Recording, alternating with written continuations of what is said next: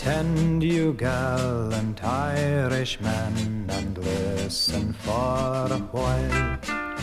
I'll sing to you the praises of the sons of Erin's Isle. It's of those gallant heroes who voluntarily ran to release two Irish Fenians from an English prison van. On the 18th of September, boys, it was a dreadful year when sorrow and excitement ran throughout all Lancashire. At a gathering of the Irish boys, they volunteered each man to release those Irish prisoners out of the prison van.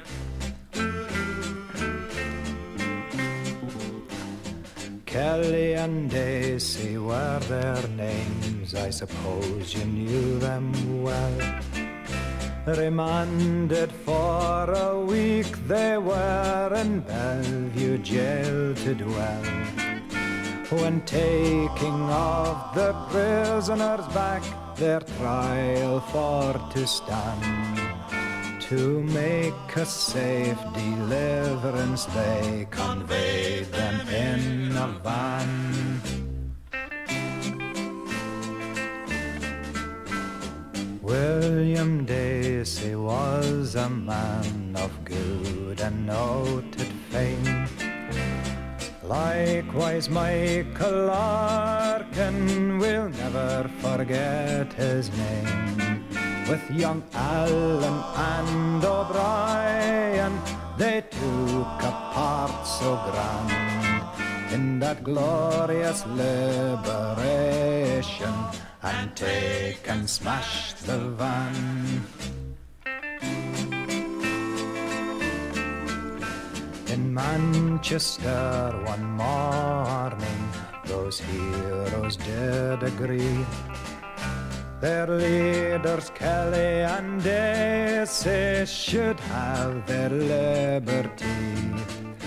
They drank a health to Ireland and soon made up a plan to meet the prisoners on the road and take and smash the van. With courage bold, those heroes went, and soon the van had stopped.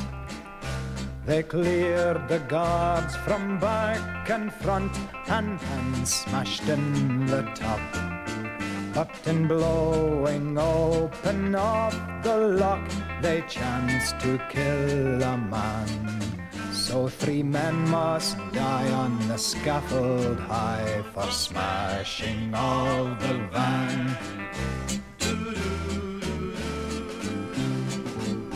One cold November morning in 1867, these martyrs to their country's cause a sacrifice were given.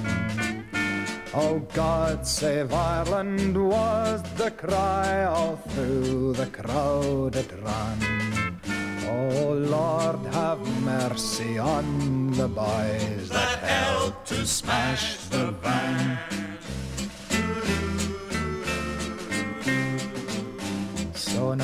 Kind friends, I will conclude. I think it would be right that all true-hearted Irishmen together should unite. Together they should sympathize and do the best we can to keep the memories evergreen of the boys that smashed the van. The smashing of